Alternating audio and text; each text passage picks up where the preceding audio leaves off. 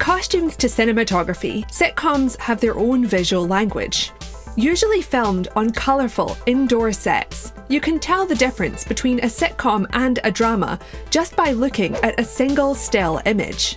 Sitcoms exist in every subgenre, from sci fi to police procedurals. But one idea has reigned supreme since the dawn of American TV self contained stories about families and friends set in the real world. Their costumes are usually designed to be simple and relatable, which is part of the reason why sitcoms often feel rooted in a specific period in fashion history. They follow real world trends. That's why Marvel's WandaVision is such an intriguing idea, borrowing the style of vintage sitcoms to weave a new kind of fantasy world. In this video, I'm going to take some cues from that show and explore the history and visual storytelling of sitcom fashion. But don't worry, you can still follow if you haven't seen WandaVision. I want us to fit in. Oh, this is gonna be a gas! Hi there, I'm Gavia Baker Whitelaw, and this is Behind the Seams Decoding the World of Costume Design. While sitcom writers have explored surreal and imaginative settings since the earliest days of the genre, mainstream hits invariably boil down to a very basic premise a workplace, a family home, or a group of friends who live close together. You're exactly right, and you get a point. Oh. a show like Modern Family or One Day at a Time follows a long tradition of family TV sitcoms, beginning in the 1950s with Leave It to Beaver and Father Knows Best, continuing on with The Brady Bunch, Family Ties, and The Fresh Prince of Bel Air. Meanwhile, I Love Lucy, the classic sitcom about a 1950s couple, set the scene for later shows about groups of adult friends, like Cheers, Friends, and How I Met Your Mother.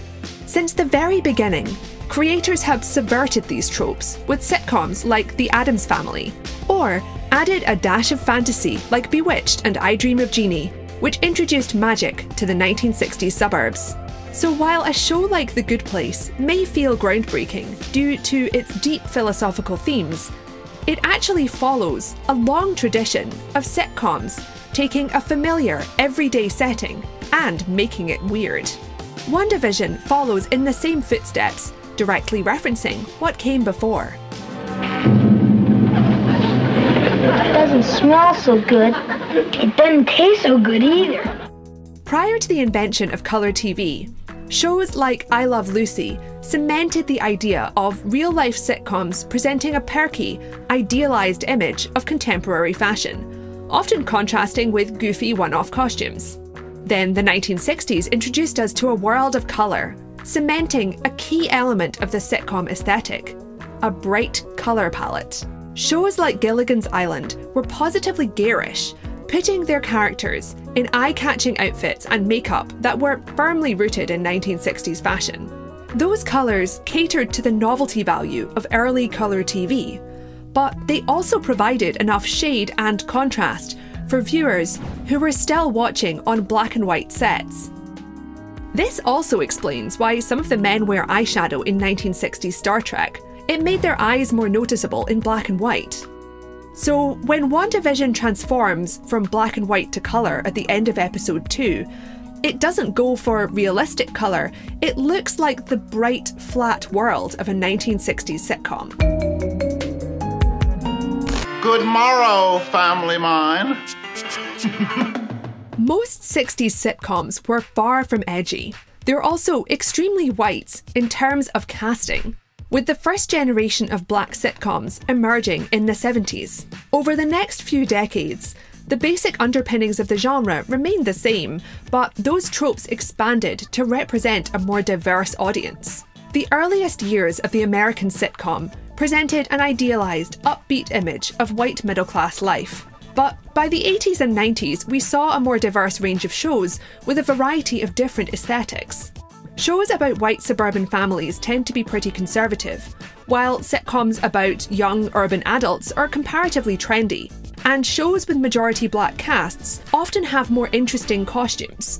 This reflects the tastes of the target audience and the people making these shows.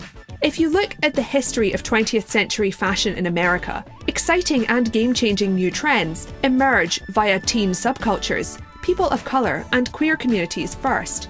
Then they're watered down for mainstream retailers aimed at white middle class customers. In terms of TV representation, this is very visible in sitcoms, which run for hundreds of episodes depicting everyday life and shifting trends.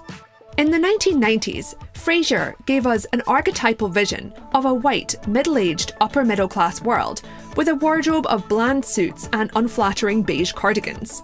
At the same time, Saved by the Bell offered a zany, colourful look at young teenage trends. And The Fresh Prince of Bel Air offered a multi generational look at black fashion in the 90s, involving bolder patterns, colour choices, and silhouettes than you'd see in Frasier. In some ways, sitcoms allow more freedom of expression than other mainstream TV genres because they're allowed to be silly and fun. This also explains why you don't see as many exciting fashion trends in crime procedurals or edgy thrillers. Yes!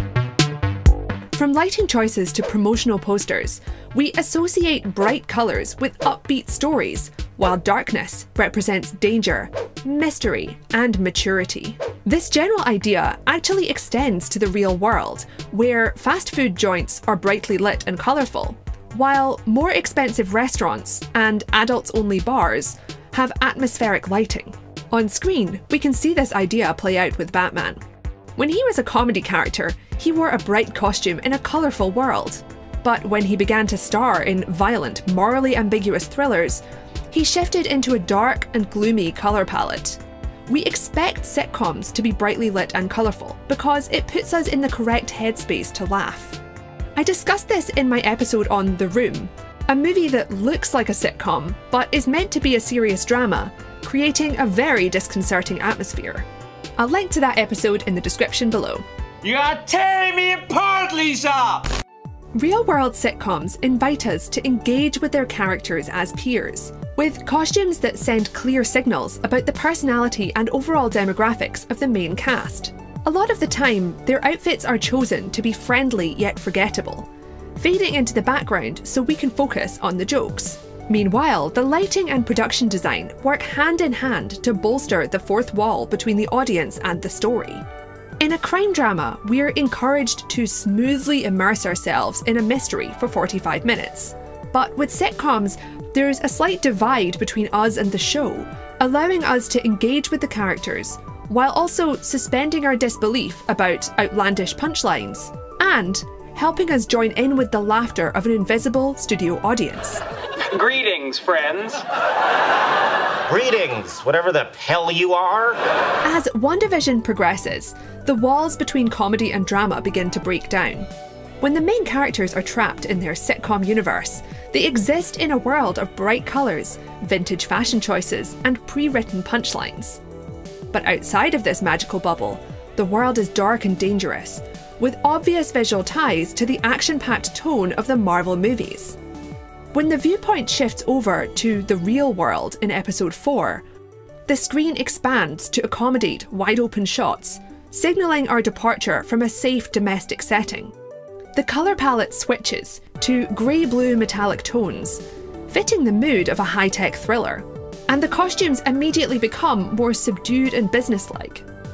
Even Darcy Lewis, an upbeat comedy sidekick from the Thor franchise, is now wearing grey, it's a simple but effective illustration of how colour and lighting prime us for different types of storytelling, playing into the viewer's expectations about how different TV genres should look.